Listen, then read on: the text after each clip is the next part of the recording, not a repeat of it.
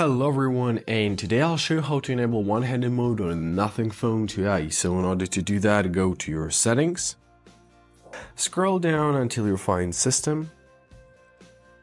Here it is. In system tap on the gestures mode. Uh, here find one-handed mode tab. So let's enable it first of all.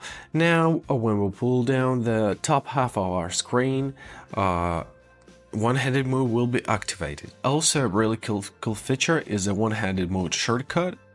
Uh, to enable it, simply tap on the switch, press OK, and now we have this accessibility button allowing us to open up one-handed mode uh, whenever we need it. For example, just simply tap it, and now as you see, we're in the one, one-handed mode.